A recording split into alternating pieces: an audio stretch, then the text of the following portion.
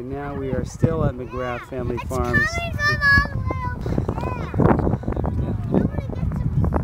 There are just zillions of pumpkins right down there. And we're surrounded by strawberries galore here.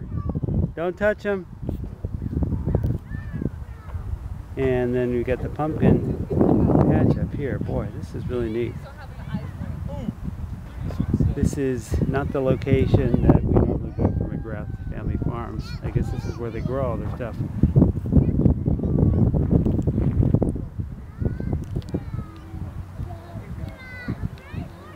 So this is our second pumpkin patch today, the other being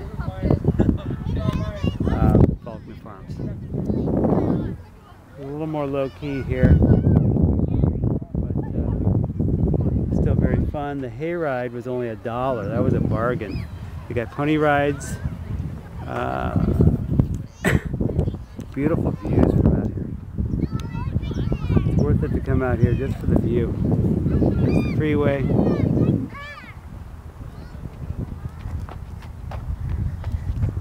It's a beautiful day today. Cloud, cloudy, cloudy chance of meatballs, right? Okay, come on, let's go this way. Plenty of pumpkins to go around here. Let's go check out those brown pumpkins. I want strawberries. Okay, somebody wants strawberries. Okay, let's see if they're selling strawberries too.